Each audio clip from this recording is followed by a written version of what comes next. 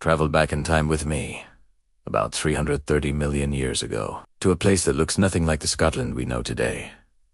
Imagine a world of vast, steamy coal swamps, giant ferns and bizarre, towering trees create a dense, green canopy overhead. The air is thick, humid, and buzzing with the sounds of colossal insects. But beneath the dark, murky waters of these ancient wetlands, something truly massive is on the hunt. This is the domain of Rhizodus hibberti, a prehistoric leviathan that ruled these waters.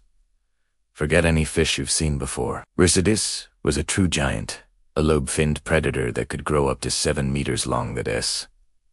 The size of a large saltwater crocodile, its long, streamlined body was a torpedo of muscle, perfectly built for explosive bursts of speed through the tangled, submerged landscape of roots and fallen trees. It was the apex predator of its time, a true king of the carboniferous swamps. What made Rhizodus so terrifying wasn't just its size, but its incredible weaponry. Its mouth was a nightmare trap, lined with an array of sharp teeth.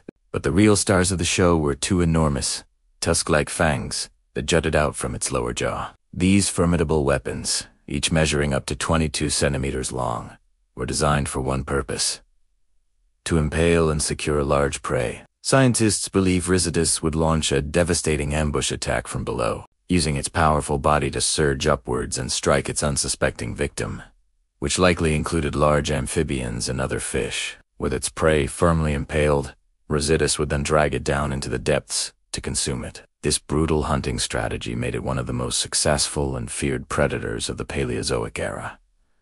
For millions of years, Rhizodus Hibberti reigned supreme, a testament to the incredible and sometimes terrifying diversity of life that has existed on our planet. Its fossils, found in the coal deposits of Scotland, give us a chilling glimpse into a lost world dominated by this magnificent freshwater monster. Thanks for joining me on this deep dive into prehistoric Scotland. If you enjoyed learning about the mighty Rhizodus, don't forget to hit that like button, subscribe, and ring the bell so you never miss another journey into the past. See you next time.